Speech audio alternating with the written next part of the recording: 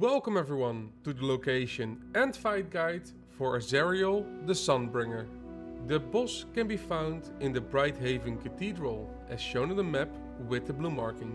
For this boss fight I used the Dark Silver Sword, the Blood Bloodmallow Amulet and the Grim Knight armor set.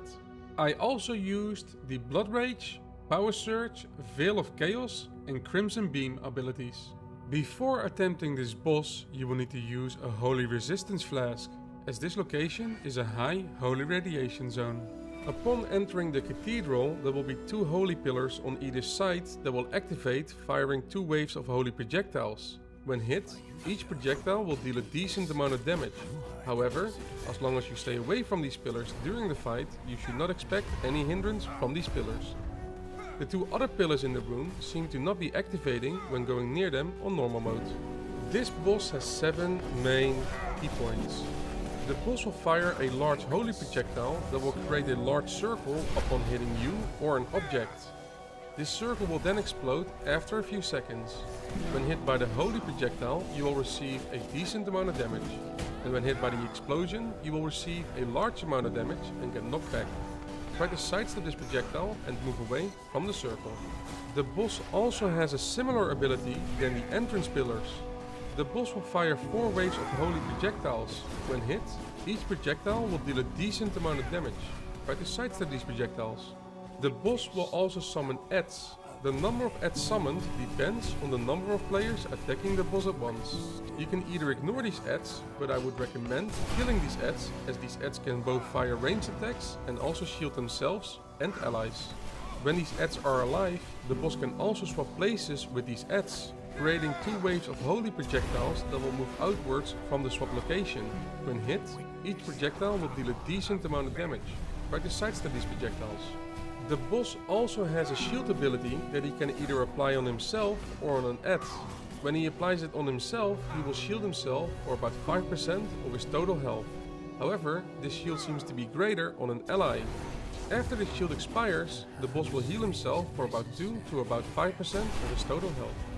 When the boss puts his staff in the air with a holy glow around him and his staff, the boss is about to rain down holy projectiles around him.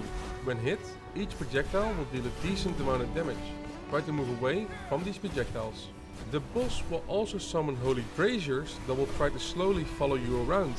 When you get near these braziers, holy explosions will happen. When hit, you will receive a large amount of damage and get slowed for about 2 seconds. You will have to kill these braziers as the boss will be immune to all damage while linked to these braziers. Just be careful that you don't take too much damage while doing so, and if needed, try to use ranged attacks.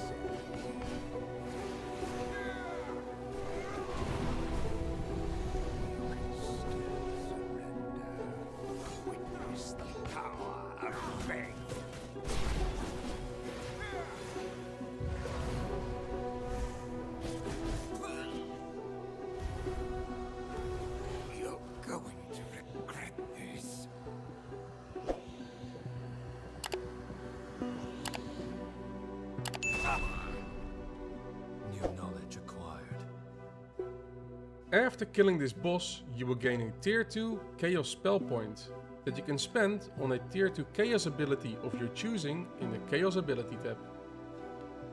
You will also unlock ostentatious rectangular and round carpets to decorate your castle.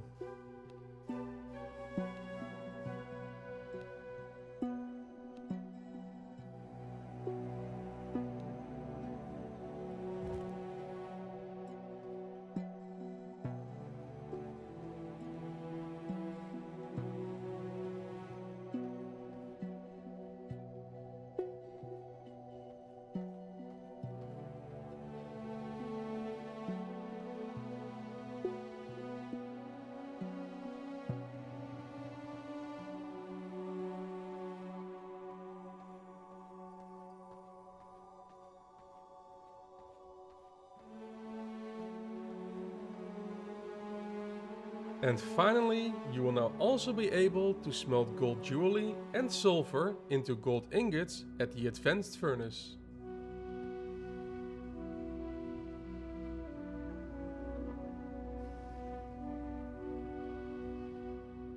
I hope you enjoyed this guide, and if you want to see some live content or have any questions about the game, you can always come and visit me at twitch.tv slash. Thank you again very much for watching, and I see you all next time you